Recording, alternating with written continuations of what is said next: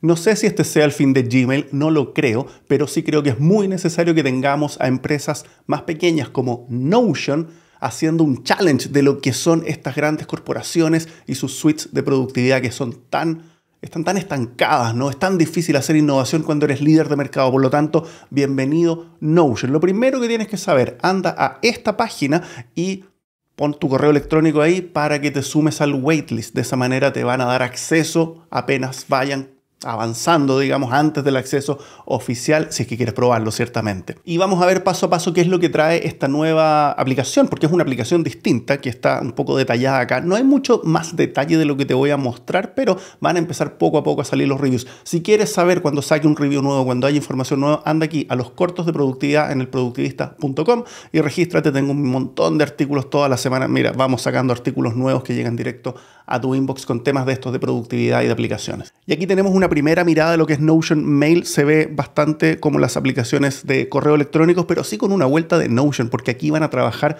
los bloques de Notion. Es decir, si, uno, si utilizas Notion el concepto de bloque, vas a poder verlo reflejado aquí en tus correos. Pero la vista es bastante tradicional, lo que es bienvenido. No queremos grandes cambios. Esto funciona, estamos acostumbrados, así que no tengo ningún problema con esto. Vamos, Autopilot, un inbox que se organiza solo. Esto lo puedes hacer en las otras plataformas. En particular voy a hablar de Gmail, que es la que yo utilizo más activamente, pero sin duda en Microsoft también puedes hacerlo.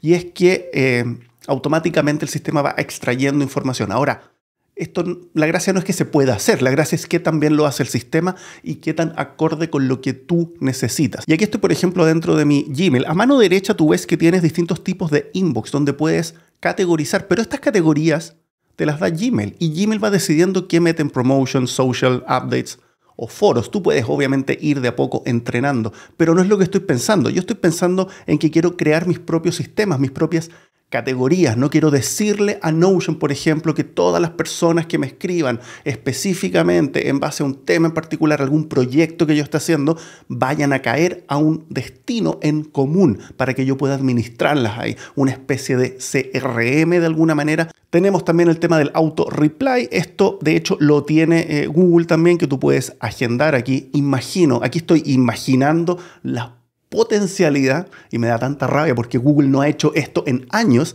eh, y me da emoción que Notion lo haga, para ser bien honesto. ¿ah? Yo no soy el gran fan de Notion, eh, tengo varios videos, de hecho el video más visto, te lo voy a mostrar acá, es este, porque yo no uso Notion, uno de los videos más vistos del canal, y espero que en esta iteración Notion me pruebe lo contrario y me permita eh, utilizarlo y aprovecharlo porque se ve fantástico, estoy muy entusiasmado.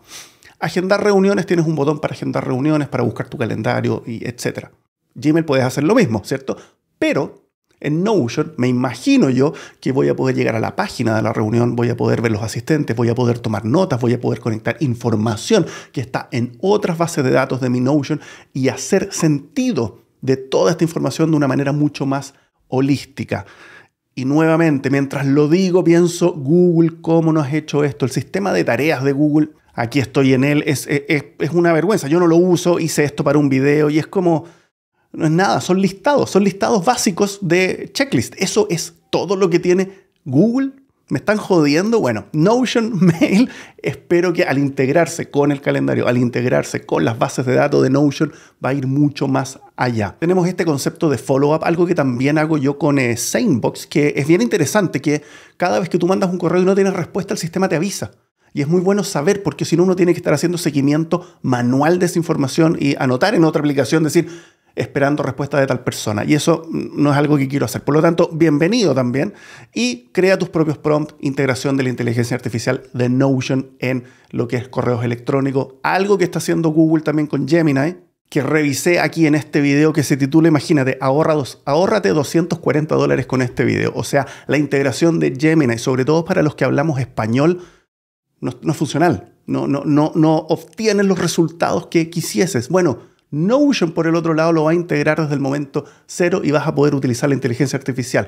En ambos casos tienes que pagar extra. Acuérdate que en Notion tienes que pagar adicional por la inteligencia artificial, lo mismo que tienes que hacer en Google con Gemini para acceder a todas las funcionalidades. Sigamos con ciertas funcionalidades que dice que va a ofrecer Notion Mail, por ejemplo, el, los templates para escribir eh, correos electrónicos, el que el sistema pueda rellenar automáticamente y esto nos da una visión un poquito más allá de cómo implementar las bases de datos. Por ejemplo, tú tienes una base de datos de clientes que te compraron cierto producto. 100 personas te compraron cierto producto en tu base de datos en Notion.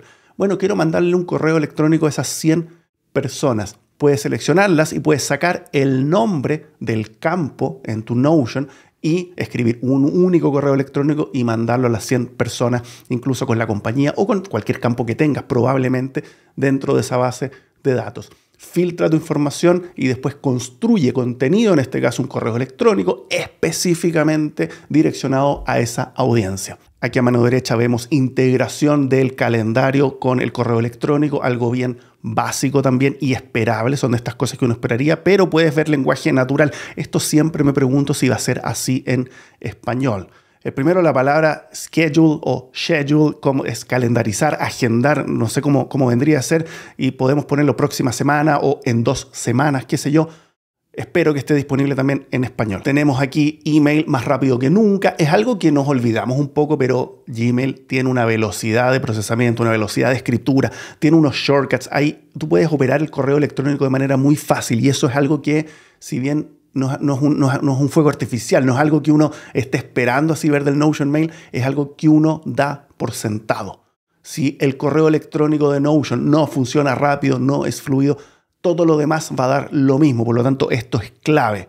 Y Beautiful and Familiar es la misma interfaz de Notion y para escribir, aquí ves un correo, tienes eh, bloques. Por lo tanto, vas a poder incrustar bloques de Notion adentro del correo electrónico y eventualmente, así como vimos, personalizarlos, también incluir información o links hacia afuera en tus páginas de Notion.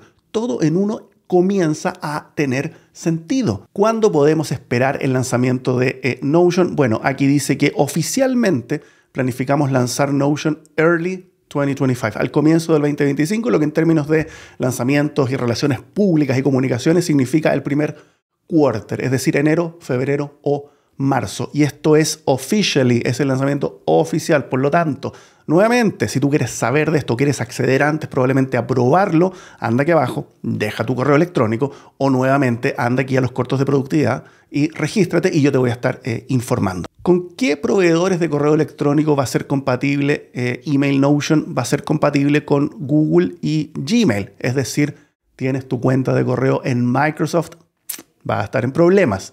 No vas a poder probarlo ni utilizarlo al comienzo. Aquí mi pregunta no es esta. Mi pregunta es si Notion finalmente va a ofrecer el servicio completo de correos electrónicos, que es lo que imagino van hacia allá, ¿no? Gestionar tus correos electrónicos en su totalidad y no solo ser una manera de traer tus correos de Gmail, organizarlos, verlos, agregarles data, pero ciertamente estar funcionando encima de Gmail. Creo que para una integración total deberían eh, reemplazar completamente a Gmail. Lo que yo quiero hacer es dejar de pagar Google Workspace e irme a Notion Workspace, ¿no? Y adicionalmente Notion va a estar disponible en teléfonos móviles, iPhone y Android también el 2025 y estoy de acuerdo aquí, la experiencia no pueden lanzarla sin tener acceso a los teléfonos móviles, vamos a tener una aplicación adicional, ciertamente, es lo que como me lo imagino, pero lo que más me importa a mí es ver la integración con el resto de Notion. Pero entonces tener que cambiar el título de este video a por qué sí uso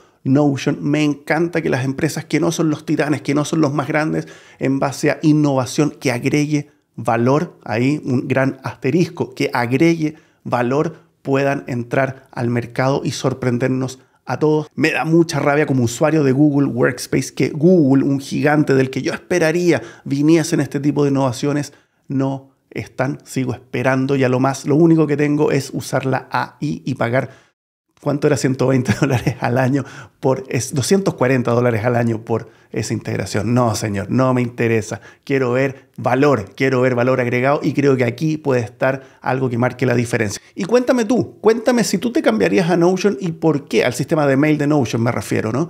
¿Por qué? ¿Qué cosas específicas harían que tú te cambiases al sistema de correos de Notion? En mi caso, por ejemplo, la integración con las bases de datos de Notion harían una gran, gran diferencia. Así que quedo atento a tus comentarios y dale un like al video si te gusta, compártelo como siempre con quien tú quieras. Mi nombre es Roberto y esto es El Productivista.